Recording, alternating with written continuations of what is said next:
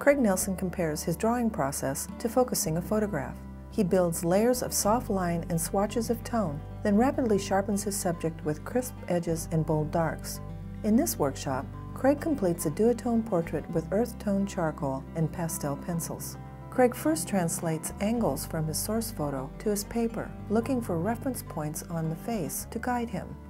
He completes a gentle outline of his subject before dusting in his first layer of tone.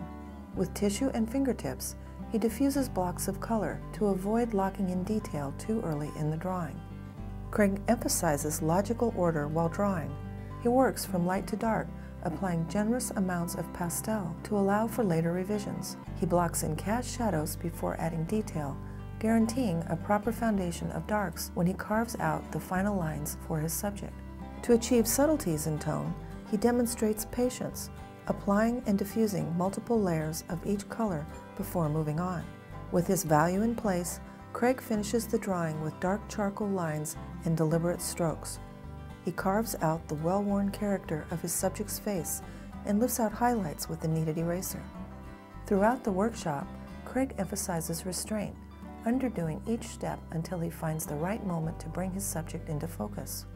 As he adds last details to the nose and chin, you'll see this logical, intuitive process come to fruition. To sharpen your drawing skills with patient methods for building tone and detail, join Craig Nelson in drawing a duotone portrait.